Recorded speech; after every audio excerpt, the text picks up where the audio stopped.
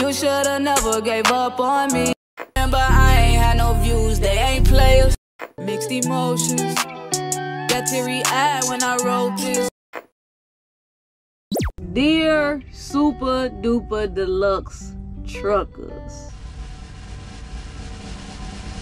Fuck y'all. I cannot stand y'all. Y'all to give a company nine days a week, 26 hours a day if y'all could. And then talk down on truck drivers like me for not doing it. It always be them old ass truck drivers who be talking the most shit. And if you was a young truck driver and you like this, your ass is a junior whopper. Fuck you talking about. Y'all deluxe drivers always talking about how much money y'all making cause y'all out there doing every mile that you can on the road and still be broke as hell. That's what just be killing me. Y'all get paid and y'all give y'all checks to y'all wife who don't even respect you. You never even home. Your kids don't even know your name. They don't even know your favorite color. Take your ass home, John, because Johnny Jr. don't even know how to use the bathroom properly because his mama is teaching him how to pee sitting down and the man is 17 years old.